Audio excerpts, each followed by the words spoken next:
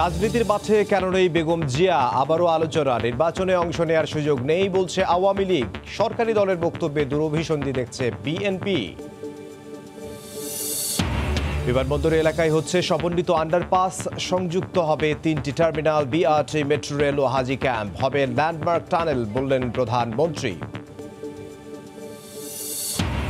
আদানির share বিতর্কে ইচ্ছাকৃতভাবে জুড়ে দেয়া হচ্ছে বাংলাদেশে বিদ্যুৎ দেওয়ার ইস্যু। চাপে থাকলেও বিনিয়োগে প্রভাব পড়বে না, বলছে দেশটির বিশ্লেষক।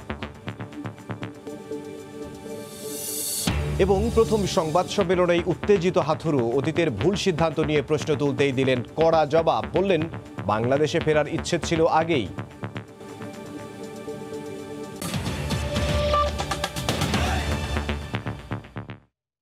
সময় সংবাদের সঙ্গে আছে আমি ইমদাদুল হক। আন্তর্জাতিক মাতৃভাষা দিবস উপলক্ষে বঙ্গবন্ধু আন্তর্জাতিক সম্মেলন কেন্দ্রে আওয়ামী লীগ আয়োজিত আলোচনা সভায় বক্তব্য রাখছেন প্রধানমন্ত্রী শেখ হাসিনা। সরাসরি যাচ্ছে সেখানে। দ্বিতীয়বার যখন আমি সরকারে আসি, আমি সিদ্ধান্ত নিই যে এগুলো আমি প্রকাশ করব। পৃথিবীতে কোনো দিন কোনো নেতার বিরুদ্ধে কোনো গোয়েন্দা রিপোর্ট এ পর্যন্ত কিন্তু প্রকাশ করা হয় নাই। আমাদের এই রিপোর্টটাই হচ্ছে সর্বপ্রথম আমি প্রকাশ করলাম। আর এটা প্রচার করার ফলে যেটা হচ্ছে, বঙ্গবন্ধু শেখ মুজিব সারা জীবন এই দেশের মানুষের জন্য সংগ্রাম করে গেছেন। এবং আমাদের সংস্কৃতি, আমাদের রাজনৈতিক অধিকার, আমাদের সামাজিক অধিকার সব কিছুর জন্য, আমাদের অর্থনৈতিক অধিকারের জন্য তিনি সংগ্রাম করেছেন। শোষিত, বঞ্চিত মানুষের কথা তিনি বারবার উল্লেখ করেছেন। আর যে কারণেই গোয়েন্দা সংস্থা তার বিরুদ্ধেই সব থেকে বেশি সোচ্চার ছিল। আমি অনেক নেতার ফাইল এনেছি, দেখেছি। কারও হয়তো একটা ফাইলের বেশি কিছু নাই। আর এখানে প্রায় আটচল্লিশটা ফাইল, ছেচল্লিশ হাজার পৃষ্ঠা। তবে আমি যখন এটা এডিট করি, এখানে যে সরকারি নথি যেমন নিচের থেকে একবার উপরে যায়, উপর থেকে নিচে আসে, নানা রকম ওর এ অনেক কিছু আমি বাদ দিয়ে দিয়ে মূল যে তথ্যগুলি সেখানে নিয়ে এসেছি। তাতেও চোদ্দ খণ্ড হচ্ছে, চোদ্দ খণ্ড।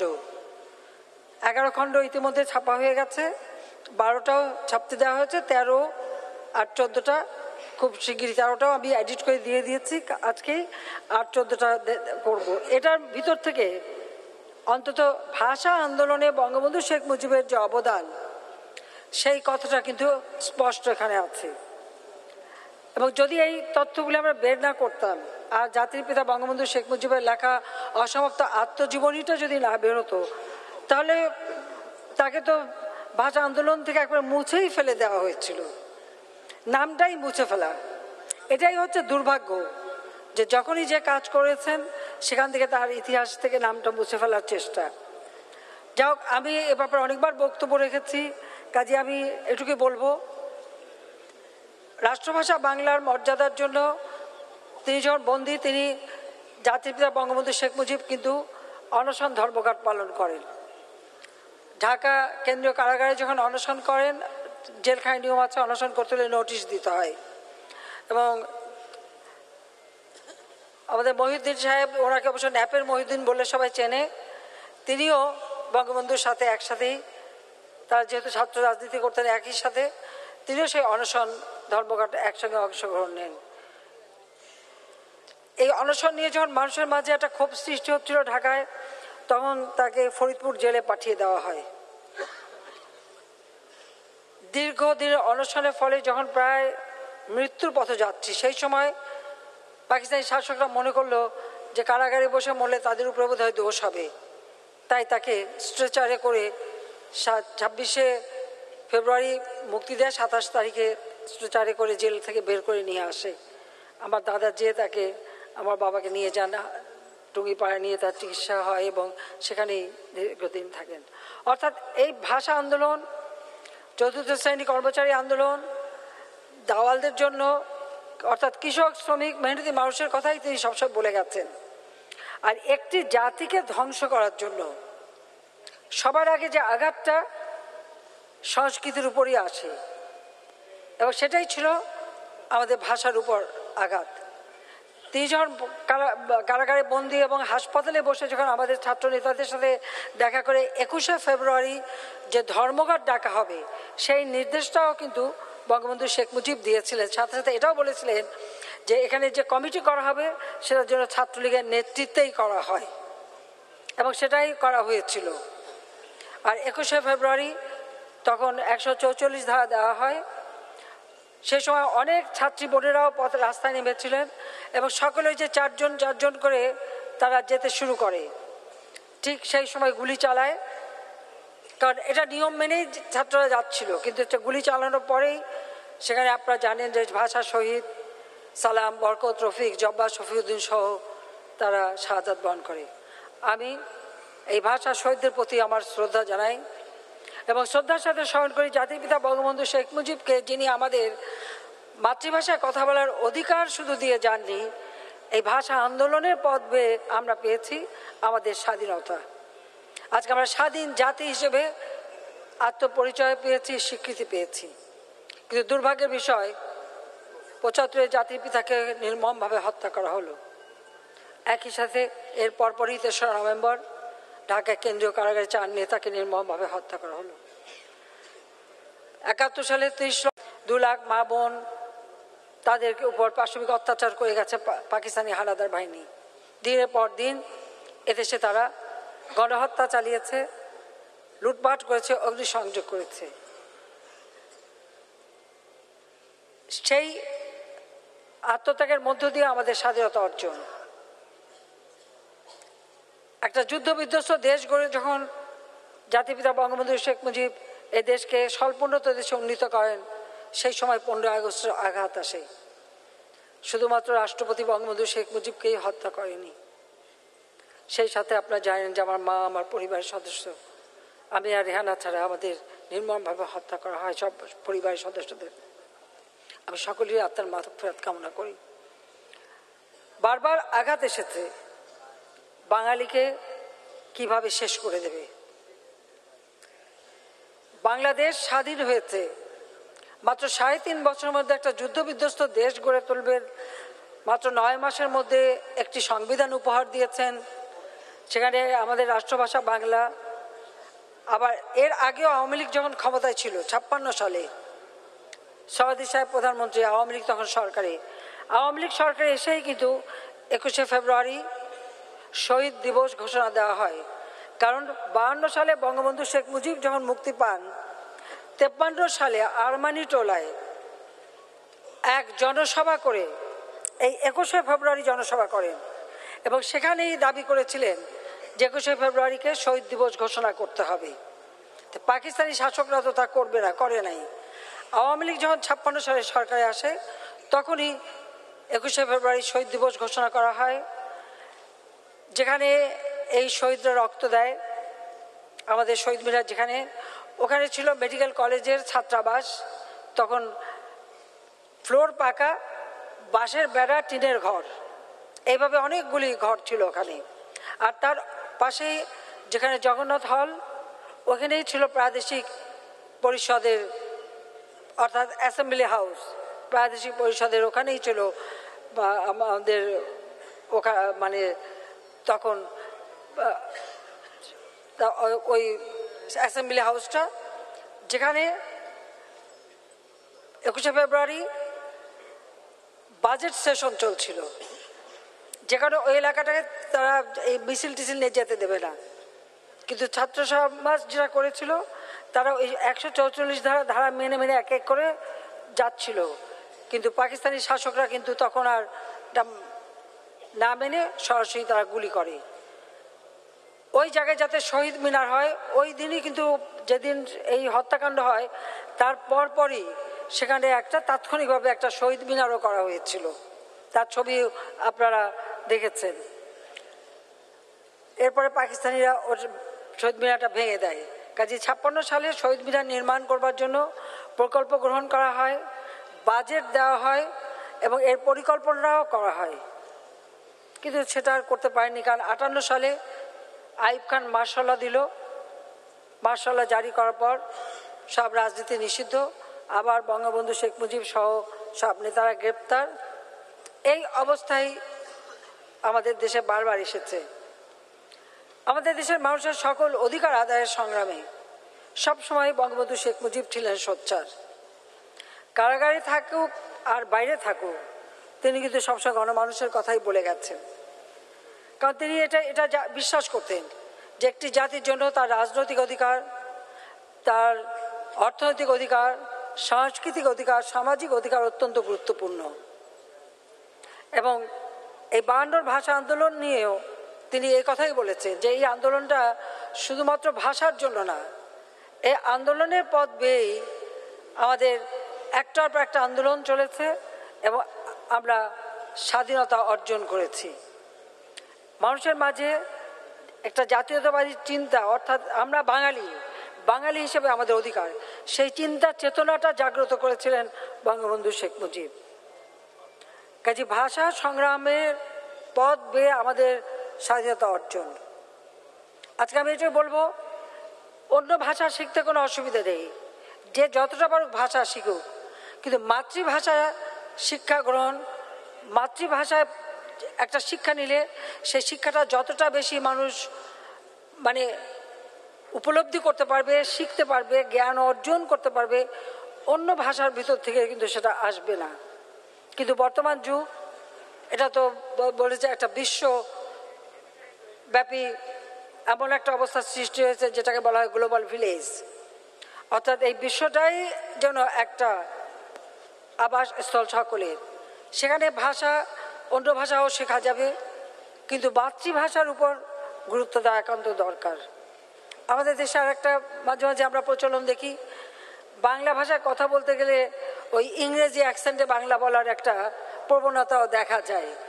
এটা আরও জঘন্য আমি মনে করি। কারণ আমি বাংলা শব্দ, বাংলা ভাষা, আমি বাংলা ভাষার মতো বলব হ্যাঁ? আমাদের ভাষারও বৈচিত্র্য আছে। আমাদের এক এক অঞ্চলে এক এক ভাষা। আমরা যখন কথা বলি, যার যার সেই আঞ্চলিক টান এটা আসবেই, থাকবেই। পৃথিবীতেও কিন্তু বিভিন্ন দেশে যত যার যার ভাষা আছে তার প্রত্যেক ভাষারই কিন্তু আবার নিজস্ব একটা ভাষাগত টান থাকে। এটা কিন্তু বিশ্ব স্বীকৃত। কিন্তু আমাদের দেশে কোথা থেকে এটা আসলে আমি জানি না। কিছু মানুষ, ছেলে মেয়েদেরকে ওই ইংরেজি স্কুলে পড়াতে যে সকলের আগেই নিজের মাতৃভাষার যে আসল যে ভাষার যে ধ্বনিটা, সেটাই পরিবর্তন করে ও একটা বিজাতীয় ভাষার ধ্বনির সাথে মিলিয়ে একটা মানে বাংলা কিন্তু সেটা ইংরেজির একটা অ্যাকসেন্টে বলা, এই একটা প্রবণতা, এটা কেন? যারা আমার নিজের এলাকার ভাষা, নিজের কথা কেন বলব না? সেটা বলাতে লজ্জাটা কি আছে? যে জাতি ভাষার জন্য রক্ত দিয়ে যায়, রক্তের অক্ষরে মাকে মা বলে ডাকার অধিকার দিয়ে যায়, তাদের মাঝে তো এই দন্যতাটা থাকা উচিত না। আজকে একুশে ফেব্রুয়ারি শুধু আমাদের না এটা কিন্তু বিশ্ব স্বীকৃত। ইউনেস্কো এটাকে স্বীকৃতি দিয়েছে। আমরা যখন ছিয়ানব্বই সালে সরকারে ছিলাম, তখন সালাম এবং রফিক, দুই বাঙালি, তারা কানাডা প্রবাসী কানাডার আর আরও অনেকগুলি দেশের ভাষাভাষী মিলে তারা একটা সংগঠন করেছিল। মানে ভালোবাসি মাতৃভাষা। কাজে এই সংগঠনের মাধ্যমে তারা প্রথমে জাতিসংঘে বাংলাকে মানে একুশে ফেব্রুয়ারিকে রাষ্ট্রভাষার মর্যাদা দেওয়ার প্রস্তাবটা পাঠায়। কিন্তু জাতিসংঘের থেকে তাদের জানানো হয় যে কোনো একটা সদস্য দেশকে এই প্রস্তাব করতে হবে। কোনো সংগঠন বা কোনো প্রতিষ্ঠান করলে হবে না। সঙ্গে সঙ্গে আমার কাছে খবর পাঠায় তারা, আমরা সাথে সাথে পদক্ষেপ নেই এবং এই প্রস্তাবটা আমরা পাঠিয়ে দিই এবং ইউনেস্কোর যে সম্মেলন, এটা নিরানব্বই সালে সতেরো নভেম্বর হয়েছিল। সর্বসম্মতিক্রমে একুশে ফেব্রুয়ারি আন্তর্জাতিক মাতৃভাষার মর্যাদা অর্জন করে। জাতিপিতা সবসময় একটা কথা বলতেন যে শহীদের রক্ত কখনো বৃথা যায় না। আমরা আজকে সেটাই প্রমাণ পেলাম। এই যে ভাষার জন্য যারা রক্ত দিয়ে গেছে তাদের এই আত্মত্যাগ কিন্তু বৃথা যায়নি, এটা বিশ্ব স্বীকৃতি পেয়েছে। এটাই বড় কথা। যে আজকে শুধু বাংলাদেশ না, সারা বিশ্বের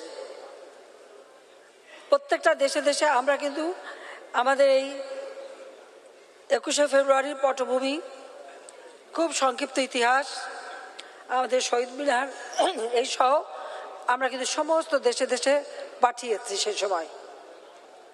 যাতে করে সব বিশ্বের মানুষ জানতে পারে যে আমরা ভাষার জন্য সে আটচল্লিশ সাল থেকে আমাদের সংগ্রামের পথ বেয়ে বাহান্ন সালে রক্ত দিয়ে যখন রক্তের অক্ষরে লিখে দেওয়া হলো, এরপর ছাপ্পান্ন সালে এসে আওয়ামী লীগ এটা স্বীকৃতি দিল। কাজে আমরা এটুকু বলব যে যা কিছু অর্জন, অনেক ত্যাগের মধ্য দিয়ে আমাদের অর্জন করতে হয়েছে। পঁচাত্তর সালে পনেরোই আগস্টের পর যারা সরকার এসেছিল, দুর্ভাগ্যের বিষয় হচ্ছে যে অবৈধভাবে ক্ষমতা দখলের একটা পালা শুরু হয়েছিল। এর ভিতরে অনেক বেমানি মুনাফিকই হয়ে গেছে, আপনারা জানেন। তবে যে মিলিটারি ডিক্টেটর ক্ষমতা নিয়েছিল অবৈধভাবে, তার জন্ম ছিল কলকাতায়, বড় হয়েছে করাচিতে। নিজেই ভালো করে বাংলা বলতে পারতো না। এটা হলো বাস্তবতা। চাকরির সূত্রে তার এই পূর্ববঙ্গে আসা। আমাদের যে স্বাধীনতার অর্জন, ভাষার অধিকার, একে একে সবই তারা মুছে ফেলার চেষ্টা করেছে। বঙ্গবন্ধুর নাম তো মুছেই ফেলা হয়েছে ভাষা আন্দোলন থেকে, এমনকি স্বাধীনতার ইতিহাসও বিকৃত করা হয়েছিল। সাতই মার্চে ভাষণ নিষিদ্ধ, জয় বাংলা স্লোগান নিষিদ্ধ, অর্থাৎ মুক্তিযুদ্ধের ইতিহাসটাকেই বিকৃত করা হলো।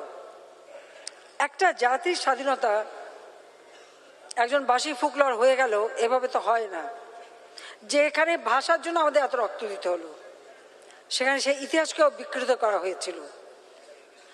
আর এই সাতই মার্চের ভাষণ, আমি মনে করি পৃথিবীর একটি মাত্র ভাষণ যা একজন নেতা দিয়ে গেছেন, আর কত কোটি মানুষ যে এটা শুনেছে, আর কতবার যে এই ভাষণটা বাজানো এটা বোধহয় কেউ বলতে পারবে না হিসেব করে। এই জন্য আমি আমাদের আওয়ামী লীগের নেতা, কর্মী এবং ছাত্রলীগ সহ যুবলীগ, আমাদের সহযোগী সংগঠন, সবাইকেই আমি আন্তরিক ধন্যবাদ জানাই এই কারণে যে যত বেশি বাধা এসেছে, তত বেশি আমাদের আওয়ামী লীগের নেতা কর্মীরা বঙ্গবন্ধু আদর্শের সৈনিকরা, তারা কিন্তু এই ভাষণ বাজিয়েছে। আজকে যেমন একুশে ফেব্রুয়ারি আন্তর্জাতিক মর্যাদা পেয়েছে, আন্তর্জাতিক মাতৃভাষা দিবস হিসেবে, ঠিক সেইভাবে সাতই মার্চের ভাষণ। সেই ভাষণও আজকে ইউনেস্কো। বিশ্বের আড়াই হাজার বছরের যত ভাষণ সামরিক বা অসামরিক নেতৃবৃন্দ দিয়ে স্বাধীনতার চেতনায় মানুষকে উদ্বুদ্ধ করেছে, সেই ভাষণের মধ্যে সর্বশ্রেষ্ঠ ভাষণ হচ্ছে সাতই মার্চের ভাষণ। কাজে সেই স্বীকৃতিটাও কিন্তু আমরা অর্জন করতে সক্ষম হয়েছি। তবে এটা ঠিক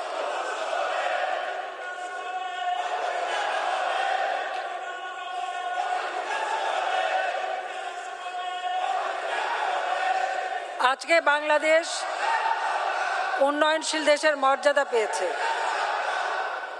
জাতির পিতা, যুদ্ধ বিধ্বস্ত দেশ গড়ে তুলে রেখে গিয়েছিলেন স্বল্প স্বল্প উন্নত দেশে। যারা আমাদের স্বাধীনতা বিরোধী, যারা আমাদের স্বাধীনতা বিশ্বাসই করতো না এবং বিরোধিতাও করেছিল, তারা ভেবেছিল এটা আমাদের দেশের ভিতরে এবং আন্তর্জাতিক সকলের ক্ষেত্রেই প্রযোজ্য। তারা ভেবেছিল এই দেশ আর কোনোদিন দাঁড়াতে পারবে না এদেশে কখনো আর উন্নতি করতে পারবে না। বাঙালি ওই ভিক্ষুক জাতি হিসেবেই থাকবে। কিন্তু যখন দেখল যে মাত্র তিন বছর, সাত মাস, তিন দিন ক্ষমতায় ছিলেন বঙ্গবন্ধু শেখ মুজিব, এরই মধ্যে বাংলাদেশকে একটা দিকে যুদ্ধ বিধ্বস্ত দেশ গড়ে তোলা, ধ্বংসপ্রাপ্ত সকল রেল ব্রিজ, সড়ক ব্রিজ থেকে শুরু করে সব কিছু গড়ে তোলা, স্কুল, কলেজ, মসজিদ, মাদ্রাস সব কিছু গড়ে তোলা। প্রত্যেকটা শহীদ পরিবারকে সাহায্য করা থেকে শুরু করে একদিকে যেমন ধ্বংসস্তূপের উপর দাঁড়িয়ে শূন্য হাতে যাত্রা শুরু করে, তিনি যে বিধ্বস্ত দেশকে গড়ে তুলে স্বল্পোন্নত দেশে উন্নীত করে ফেলেছেন। তখনই এই স্বাধীনতা বিরোধী এবং শত্রুদের মাথাটা খারাপ হয়ে যায়। বঙ্গবন্ধুর বিরুদ্ধে নানা রকম অপপ্রচার। এবং যে ধরনের ঘটনা এদেশে ঘটিয়েছিল তখন, এখন অনেকে তো এটা জানেও না। পাটের গুদামে আগুন দেওয়া, থানা লুট করা আওয়ামী লীগের নির্বাচিত প্রতিনিধিদের হত্যা করা, যেখানে সেখানে লুটপাট করা, নানা ধরনের অপকর্ম করে করে তারা একটা সরকারকে ব্যতিব্যস্ত করে তুলেছিল।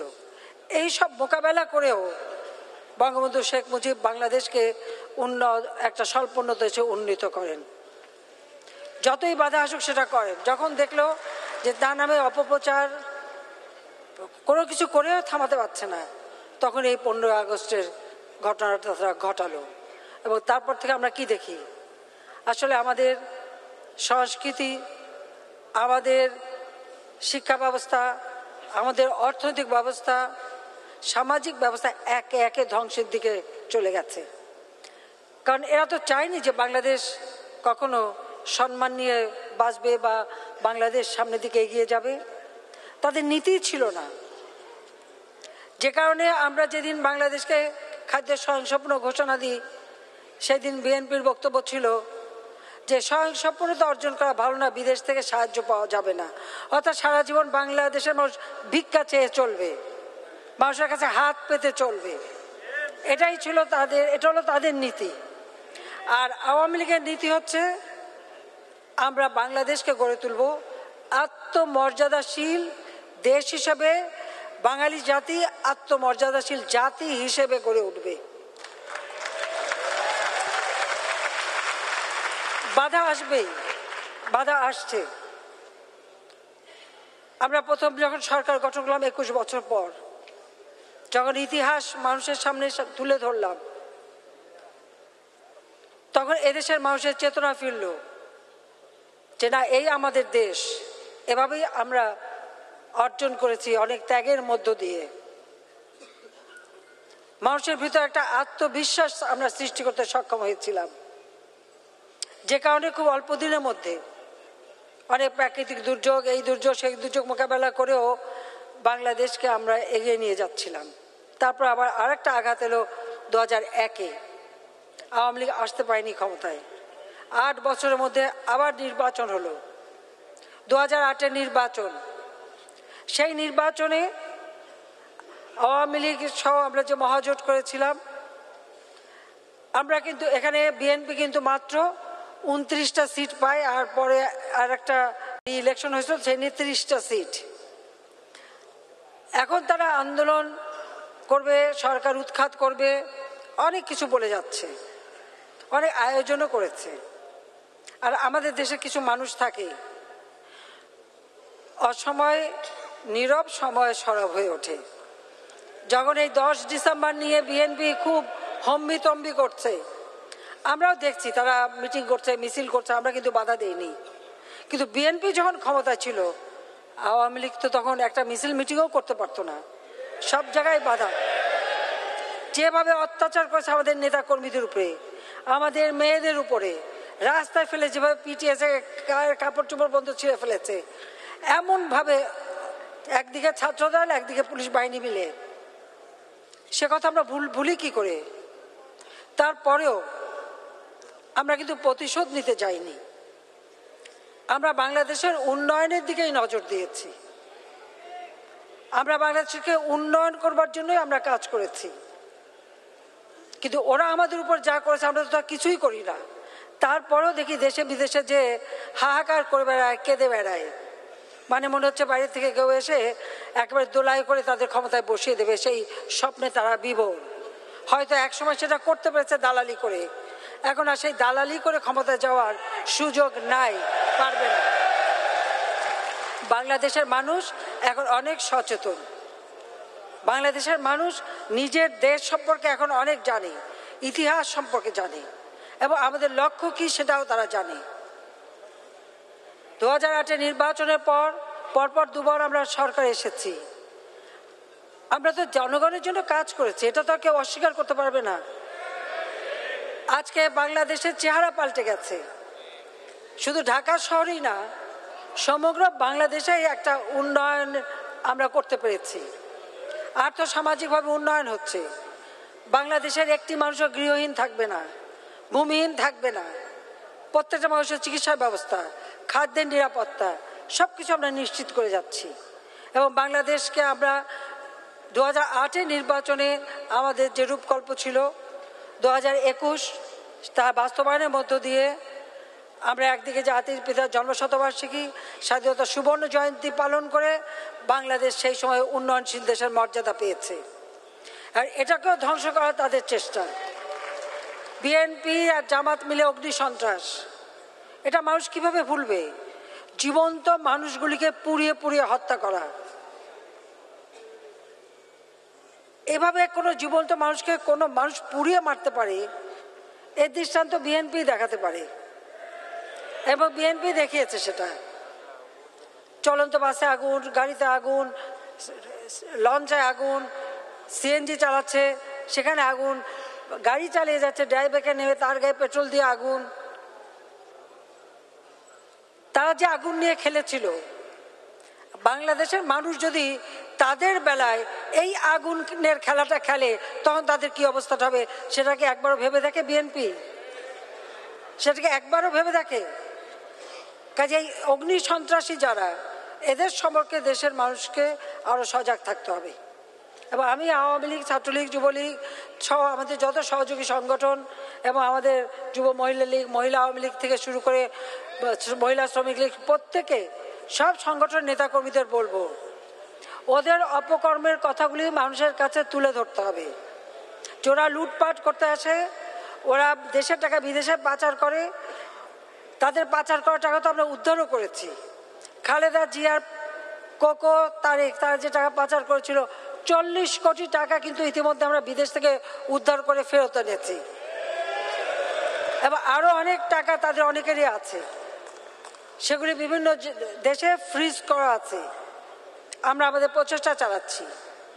যারা নিজের দেশের অর্থ অন্যের কাছে তুলে দেয়, নিজের দেশের স্বার্থকে বিকিয়ে দেয়, আর নিজের দেশের মানুষকে পুড়িয়ে মারে, তারা আবার ক্ষমতা যাওয়ার স্বপ্ন দেখে কীভাবে?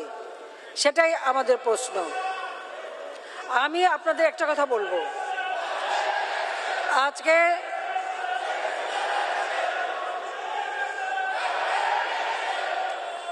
না, একদম। গত চোদ্দ বছরে এই বাংলাদেশের রাস্তাঘাট, পুল ব্রিজ থেকে শুরু করে খাদ্য উৎপাদন থেকে শুরু করে চিকিৎসা সেবা, মাতৃমৃত্যু হার কমানো, শিশু মৃত্যু হার কমানো, নারী ক্ষমতায়ন, অর্থাৎ জাতিসংঘের সেই এসডিজি বা এমডিজি আমরা বাস্তবায়ন করছি এসডিজি যে সাস্টেনেবল ডেভেলপমেন্ট গোল সেটাও আমরা বাস্তবায়ন করে যাচ্ছি। যদি এই করোনা ভাইরাস সেটাও আমরা মোকাবেলা করছি অত্যন্ত সফলতার সাথে। অনেক উন্নত দেশে লাশের পর লাশ পড়ে থেকেছে। আমরা আগাম সমস্ত ব্যবস্থা নিয়ে প্রত্যেকটা মানুষের ভ্যাকসিন দেওয়া এবং চিকিৎসা সুরক্ষার ব্যবস্থা করা, যার ফলে আমরা কিন্তু এটা মোকাবেলা করতে পেরেছি। বিনা পয়সায় কোনো দেশ কিন্তু ভ্যাকসিন দেয়নি। বাংলাদেশ দিয়েছে। আমরা দিয়েছি। আমাদের অত টাকা পয়সা নেই, কিন্তু আমাদের মনটা বড়। দেশের মানুষের ভালো মন্দ আমরা চিন্তা করি। মানুষের জন্য আমরা ভাবি। কাজী একটার পর একটা ঝামেলা এসেছে। একটা হচ্ছে একটা হচ্ছে মানুষ সৃষ্ট দুর্যোগ, এই যে অগ্নি সন্ত্রাস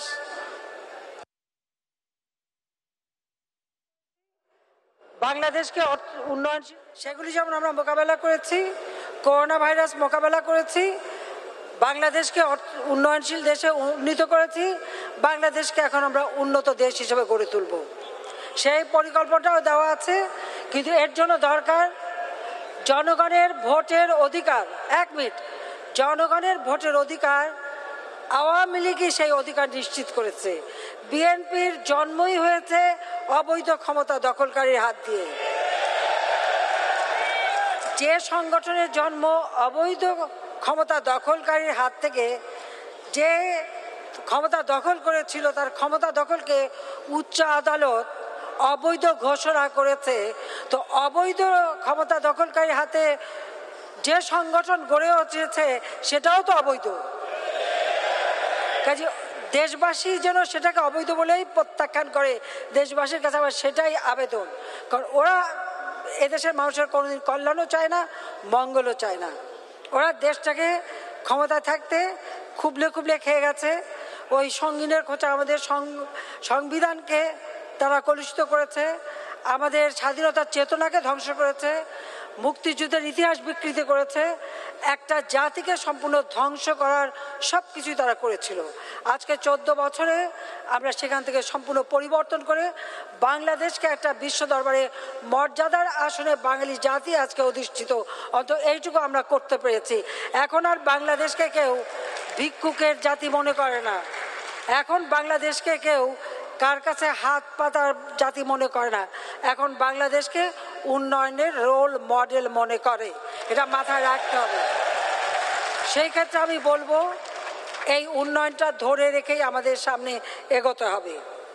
এবং জনগণের কাছে যার যার, সবারই তো নিজের গ্রাম ঘর বাড়ি ঘর আছে আছে না? প্রত্যেকের নিজের এলাকা আছে। ঢাকা শহরে আপনারা এক একটা এলাকায় বসবাস করেন। আমরা যে কাজগুলি করেছি এলাকা ভিত্তিক বা দেশের জন্য। শুধু সেই কথাগুলি যদি ঘরে ঘরে পৌঁছায় দিতে পারেন, তাহলে ভোটের আর কোনো সমস্যাও আমাদের নাই, আর এই ক্ষমতাও কেউ আর কেড়ে নিতে পারবে না, এটা মাথায় রাখবেন। আমরা আর যাই হোক, ওই দানবদের হাতে বাংলাদেশের জনগণকে ফেলে দিতে পারি না। বাংলাদেশের মানুষের জীবন মান সুরক্ষা করা, জীবন মান উন্নত করা বাংলাদেশকে যেভাবে আমরা উন্নয়নের দিকে এগিয়ে নিয়ে গেছি, এই উন্নয়নশীল দেশের মর্যাদা ঠিক রেখে বাংলাদেশকে উন্নত দেশ হিসাবে গড়ে তুলতে হবে। কিন্তু ওদের হাতে ক্ষমতা গেলে এই উন্নয়নশীল দেশের মর্যাদাটাও ওরা ধ্বংস করে দেবে। সেটাই সবাইকে মাথায় রাখতে হবে। এবং সেইভাবে আপনাদের সংগঠন করতে হবে। সংগঠনকে যেমন একদিকে করতে হবে, আর মানুষের কাছে আমাদের উন্নয়নের বার্তাটাও পৌঁছে দিতে হবে, পাশাপাশি নিজেদেরকেও তৈরি করতে হবে। ইউক্রেন রাশিয়া যুদ্ধ, তার উপরে আমেরিকার স্যাংশন যার ফলে অর্থনৈতিক মন্দা উন্নত বিশ্বে দেখা দিচ্ছে। আমরাও তার জন্য ভুক্তভোগী। আমরা অত্যন্ত কষ্ট করে আমাদের অর্থনীতির গতিটা অব্যাহত রাখতে পেরেছি। সেই জন্য আমি আহ্বান করেছি, প্রত্যেকে যার যেখানে জমি আছে, এক ইঞ্চি জমি অনাবাদি থাকবে না। যে যা পারবেন উৎপাদন করবেন। কারও কাছে খাদ্যের জন্য আমরা হাত পাতবো না। আমরা আমাদের নিজেদের খাদ্য উৎপাদন করব, নিজেদের চাহিদা মেটাবো, পাশাপাশি অন্য দেশকেও যেন আমরা সহযোগিতা করতে পারি, সেইভাবেই আমরা চলবো। আমরা সরাসরি প্রধানমন্ত্রীর বক্তব্যে ছিলাম। সময় সংবাদে আরও থাকছে। উচ্ছেদের খবরে পাল্টে গেল তেজগাঁও ট্রাক স্ট্যান্ডের চিত্র। রাস্তা দখল করে দাঁড়িয়ে থাকা ট্রাক তড়ি ঘড়ি করে নেওয়া হলো গলিতে। হতাশা, খোদ মেয়রের।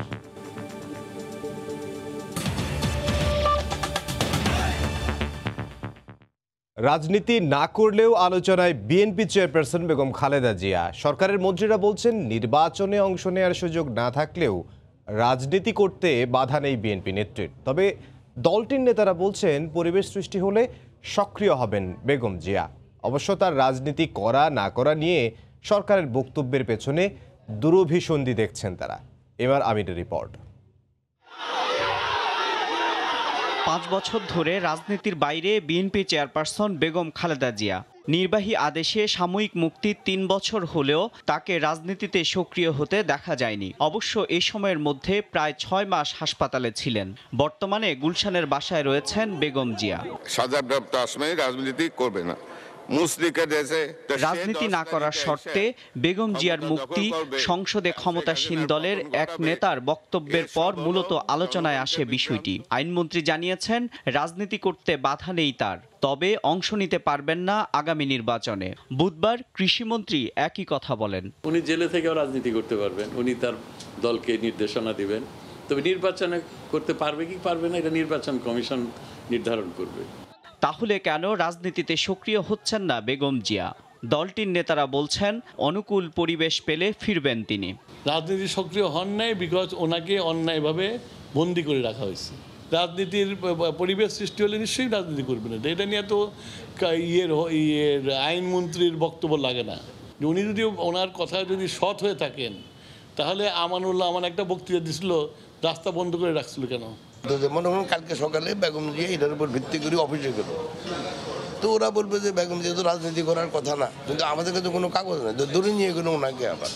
তারা জানান রাজনীতি করা ও দল পরিচালনা করার মতো শারীরিক সক্ষমতা রয়েছে বিএনপি নেত্রীর। দল পরিচালনা করার জন্য ওনার যথেষ্ট শক্তি সাহস মানসিক বল সব কিছু ওনার কাছে বিদ্যমান পুরোপুরি। সরকার বিরোধী আন্দোলন থেকে দৃষ্টি ভিন্ন খাতে নিতেই বেগম জিয়ার রাজনীতি করার বিষয়টি ইস্যু বানানো হচ্ছে বলেও দাবি করেন বিএনপি নেতারা।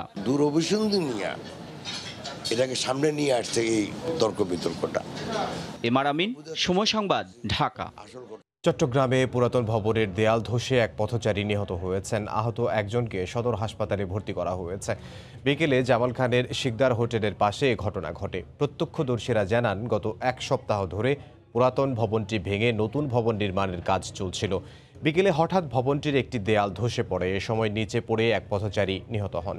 আহত পথচারীকে উদ্ধার করে হাসপাতালে নেওয়া হয়। ভবনের নিচে আরও কেউ চাপা পড়েছে কিনা সেটি জানতে উদ্ধার অভিযান চালাচ্ছে ফায়ার সার্ভিস।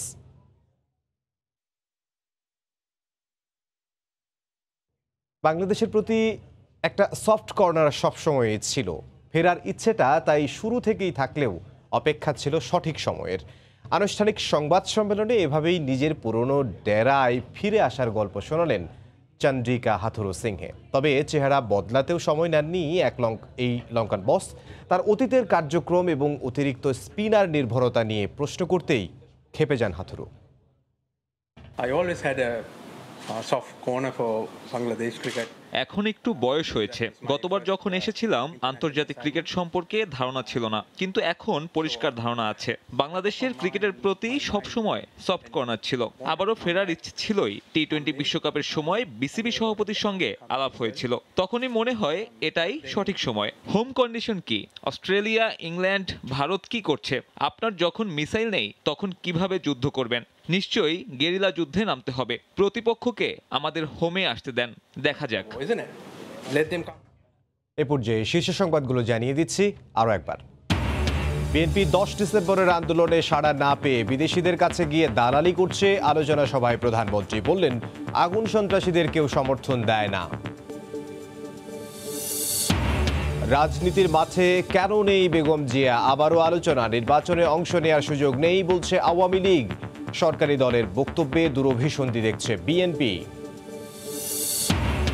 এবং বিমানবন্দর এলাকায় হচ্ছে সমন্বিত আন্ডারপাস সংযুক্ত হবে তিনটি টার্মিনাল বিআরটি মেট্রো রেল ও হজ ক্যাম্প হবে ল্যান্ডমার্ক টানেল বললেন প্রধানমন্ত্রী। এতক্ষণ ছিলাম সময় সংবাদে।